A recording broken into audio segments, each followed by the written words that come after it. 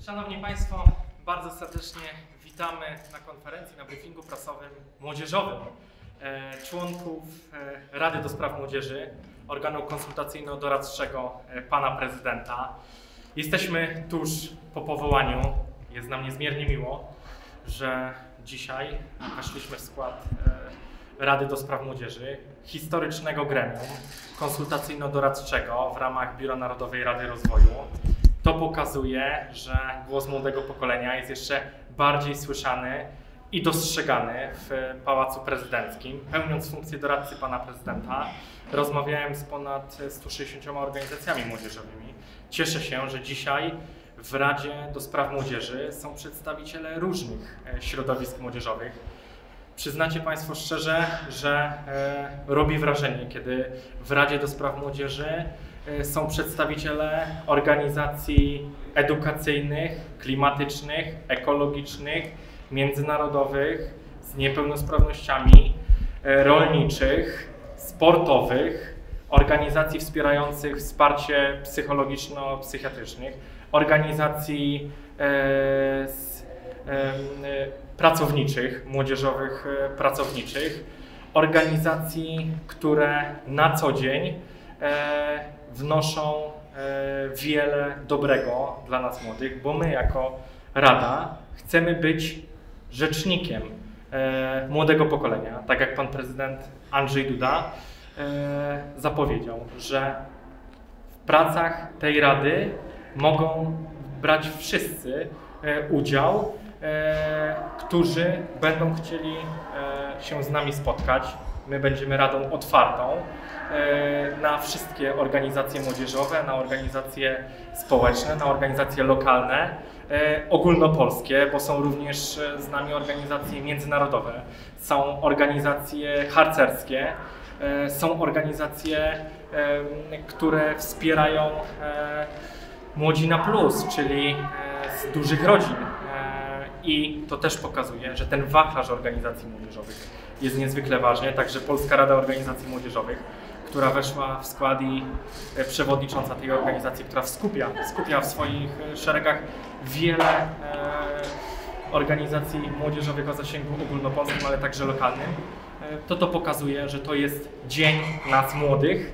E, Bardzo ważny dzień dla mnie osobiście, kolejny krok i etap budowaniu społeczeństwa obywatelskiego. Jeszcze raz serdecznie dziękujemy panu prezydentowi za zaufanie, jakim nas obdarzył. Ja osobiście jako doradca pana prezydenta i przewodniczący Rady do Spraw Młodzieży mam nadzieję i dołożę wszelkich starań, że ta rada będzie radą dynamiczną, pracowitą i już od dzisiaj e, zabieramy się e, do intensywnej pracy. Jesteśmy otwarci dla wszystkich młodych. Bardzo się cieszymy, że ta rada powstała i działamy. Także tyle z mojej strony, żeby nie przedłużając, oddam głos pani Mai Wieśmanowicz z Młodzi na Plus Związek Dużych Rodzin. Proszę bardzo. Dzień dobry. Ja chciałam powiedzieć, że bardzo się cieszę, że wreszcie taka e, Rada Młodzieżowa powstała, bo jak wiadomo, e, młodzi ludzie to przyszłość Polski, więc to od nas zależy to, jak ta Polska będzie wyglądać. I bardzo, bardzo się cieszę, że wreszcie e, mamy głos i że będziemy mogli głośno mówić o naszych potrzebach, ale też wprowadzać różne propozycje rozwiązań tych problemów i, e, jestem naprawdę bardzo wdzięczna e, i z wielką nadzieją patrzę na to, co dzisiaj się tutaj e, zadziało. Bardzo dziękuję. A że ta rada jest apolityczna i zróżnicowana, to bardzo bym prosił o zabranie głosu przewodniczącego Parlamentu Studentów, pana Mateusza Grochowskiego. Proszę bardzo, Mateusz. Jako Parlament y, Studentów RP, jego przedstawiciel, mam nadzieję, y, że ten głos młodych ludzi będzie słyszalny. Przede wszystkim dlatego, że to my budujemy tą przyszłość, ale z drugiej strony to my będziemy spotykali się z jej konsekwencjami. I co tutaj jest y, najważniejsze? Najważniejsze jest tutaj edukacja i tylko nie ta na poziomie szkół wyższych, ale też na szkół podstawowych czy też szkół licealnych, żebyśmy potrafili się ze sobą komunikować, ale też wyrażać własne zdanie żebyśmy potrafili nie tylko dostrzegać te problemy, ale przede wszystkim je rozwiązywać. Ja się niezwykle cieszę, że będę miał okazję współpracować tak licznym gronem organizacji, całego środowiska, nie tylko studenckiego, ale też i wszystkich młodych ludzi i mam nadzieję, że ten dialog doprowadzi do tego, że będziemy szli do przodu i znajdziemy takie rozwiązania, które pomogą wprowadzić coś, co pomoże każdemu z nas, każdemu młodemu człowiekowi. Młodzi ludzie to także młodzieżowe rady gmin, miast, powiatów i województw. Mamy przedstawicielkę Młodzieżowej Rady Miasta Lublina. Mamy również przedstawicieli LZS-ów, Ludowych Zespołów Sportowych, AZS-ów, Akademickich Zespołów Sportowych, ale także mamy i przedstawicielkę osób, która będzie się zajmować osobami z niepełnosprawnościami i to jest również bardzo ważny temat, e, który w Kancelarii Prezydenta jest niezwykle ważny i my jako młodzi ludzie również dostrzegamy. Także bardzo bym prosił o zabranie naszą e, paraolimpijkę Kingę Druszcz, która również weszła w skład Rady i będzie się zajmować osobami z niepełnosprawnościami. Bardzo proszę. Szanowni Państwo, jako przedstawicielka w zasadzie, tak jak wspomniał Łukasz, e, e, dwóch dziedzin, bo z dziedzin sportu i osób z niepełnosprawnościami, na pewno chciałabym się skupić nad promocją sportu niepełnosp- y, z niepeł- osób, nie, Boże, przepraszam, Osób z osób z niepełnosprawnościami. I korzyści, które z tego płyną, zachęcić ludzi do wyjścia z domu, zachęcić młodzież do otwarcia się na nowe środowisko, na nowe możliwości i perspektywy, które na nich czekają. Także tutaj na pewno będziemy prężnie działać, jeśli chodzi o temat sportu z niepełnosprawnościami. Temat sportu osób z niepełnosprawnościami, tematy medyczne, bo również jest przedstawicielka e, organizacji medycznej e, w naszym e, zespole, w naszej Radzie. No to są te tematy, które będziemy poruszać już od najbliższego posiedzenia. Dzisiaj przedstawiły organizacje tematy prac. Jest ich naprawdę bardzo, bardzo dużo. Ja się z tego niezwykle cieszę i niezmiernie jestem usatysfakcjonowany, że aż tyle e, pomysłów, inicjatyw, ale także i problemów jest e, do rozwiązania. Jesteśmy gotowi, działamy e, i dołożymy wszelkich starań, żeby młodzi ludzie wiedzieli, że mogą się do nas zgłaszać, że mogą się do nas e, odzywać, jeżeli będą mieli taką potrzebę i dołożymy wszelkich starań, żeby im pomóc. Prezydent Andrzej mówił dziś podczas tego inauguracyjnego posiedzenia o tym, że to będzie taka rada, podczas której nie będzie tematów tabu.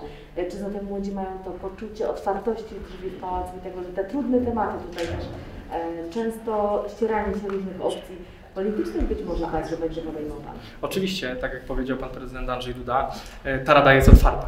E, ta rada e, jest otwarta, to pokazuje też skład tej rady, że to jest kilkadziesiąt różnych organizacji młodzieżowych w naszym kraju. Jest to rada reprezentatywna, jest to rada apolityczna, jest to rada, która jest e, nastawiona na pracę i działanie, e, na otwartość, bo drzwi Pałacu Prezydenckiego za prezydentury pana prezydenta Andrzeja Dudy zawsze były, są e, i będą otwarte. I to dzisiejsze spotkanie z panem prezydentem, jego słowa, który mówił o otwartości, że nie będzie tematów tabu, tak będzie, dołożę wszelkich starań, żeby tak było. Obiecu, obiecywałem to na Radzie moim współpracownikom, e, także i Wam młodym obiecuję, że nie będzie tematów tabu. Jeżeli będą pojawiać się tematy ciężkie, które trzeba będzie poruszyć, będziemy to robić, ścierać się poglądami, ale wypracowywać je, mam nadzieję, e, w konsensusie, e, w rozmowie, w dialogu, bo dialog to jest podstawa wszystkiego. Tak prowadziłem konsultacje młodzi w pałacu, w dialogu, w konstruktywnej rozmowie, bo tego młodym w Polsce jest potrzebne. Tak, czy wiadomo już, kiedy odbędzie się drugie posiedzenie i jakimi tematami zajmiecie się najpierw? Planujemy drugie posiedzenie w listopadzie. Y, wiemy, że listopad no, jest okresem, gdzie są święta y, wszystkich świętych, 11 y, listopada, mm, zyskanie przez Polskę niepodległości. Także na pewno będzie to listopad. Jakie tematy? Dzisiaj one wpłynęły. Będziemy zastanawiać się, od którego tematu rozpocząć. Wiem, że podczas też moich konsultacji, ale tego co padło dzisiaj, temat edukacji, temat klimatu, sprawy międzynarodowe, e, tematy, mm, które są oczywiście e, niezwykle ważne, jak e, y, z osób z niepełnosprawnościami. One dzisiaj wybrzmiały na Radzie, one są niezwykle ważne i też potrzebne. Także myślę, że w tym kierunku będziemy zmierzać. Natomiast co do kwestii technicznych, na pewno będziemy Państwa informować, kiedy zostaną podjęte decyzje odnośnie kolejnego spotkania. Mogę na dziś powiedzieć, że na pewno odbędzie się ono w listopadzie. Oczywiście, jeżeli będzie taka potrzeba, że jakiś temat y, będzie tematem pilnym, nie wykluczamy, że spotkamy się wcześniej, ale na tą chwilę kolejne y, posiedzenie jest planowane na listopad. Chciałem zapytać, na ile klimat będzie istotnym tematem na posiedzeniach Rady, no bo wiemy, że młodzi w Polsce wielokrotnie gromadzili się właśnie wokół tego tematu. Mamy, mamy w swoich szeregach y, przewodniczącą Młodzieżowej Rady Klimatycznej, przewodniczącego Młodzieżowej Rady Ekologicznej. Ja bym poprosił Ciebie, Sylwio, żebyś powiedziała dwa zdania. Zapraszam Cię tutaj. Właśnie odnośnie klimatu. E, Pani przewodnicząca Sylwia, e, która mm, jest reprezentantką różnych środowisk młodzieżowych w ramach Młodzieżowej Rady Klimatycznej będzie również zajmowała się tymi tematami. No to jest niezwykle ważne, tak jak pan redaktor powiedział, dla nas młodych. E, Tematy klimatyczne, tematy ekologiczne i również takich przedstawiciele, przedstawicieli, przedstawicielki w Radzie są. Proszę Tak bardzo. jak Pan Przewodniczący wspomniał, temat klimatu jest bardzo ważnym tematem i łączącym się też z innymi tematami, które będą w tej Radzie poruszane. Jak najbardziej polska młodzież spotyka się w tych tematach już też w innych organizacjach, które być może zaprosimy, być może będą też z nami rozmawiali. Poruszymy na pewno tematykę edukacji klimatycznej, która musi być w Polsce lepsza, bardziej powszechna. Będziemy na pewno o tym rozmawiali, także o depresji klimatycznej, a także o innych tematach związanych z klimatem, tak jak transformacja sprawiedliwa czy bioróżnorodność. Bardzo dziękuję. Czy macie Państwo jeszcze jakieś pytania?